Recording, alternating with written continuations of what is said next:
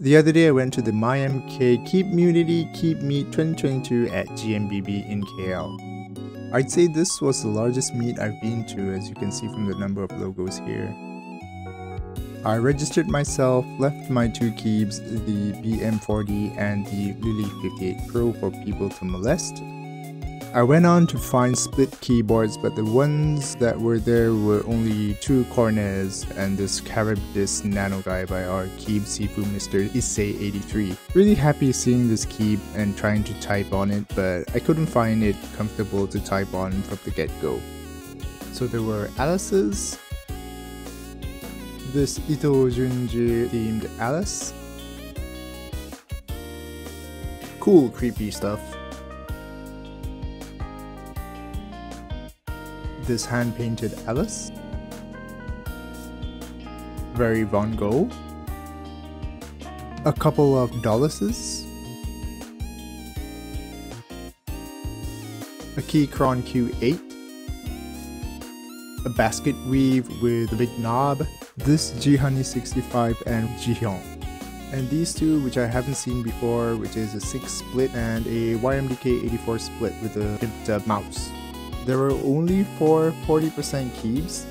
This TU40, a for me, and this custom hand-wired 40% by Albedo husband, Ainz Ooal Gown sama.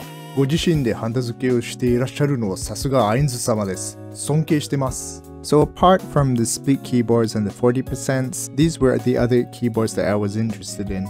This had me laughing, not because of the key, but the goddamn thing was heavy for a little cute thing. I thought it was like close to 2 kilograms or something. Now this was interesting. Uh, it's a GigaChad keyboard that has 300 gram switches.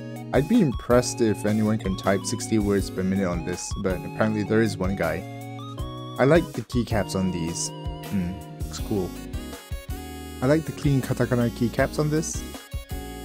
The ceramic keycaps were interesting. One Bongo Cat keyboard. I think this one was cute and the typing experience was comfortable. Now this one is just plain clean. This Do Not Touch Razer keyboard. This keyboard with some artisan Egyptian pharaoh keycaps the transparent keycaps on this keyboard, the koi keycap on this keyboard,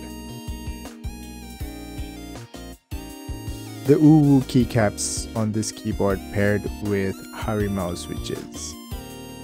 This cursed thing.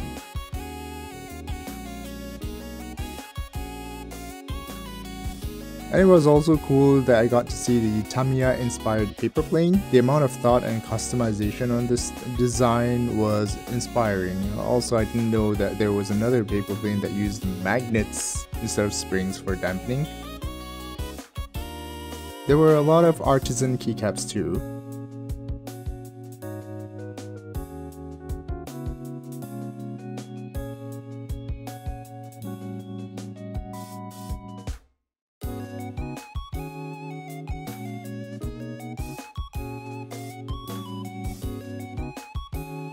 The day ended at around 6 pm when we went through the lucky draws, but all of them were sad because I didn't win anything.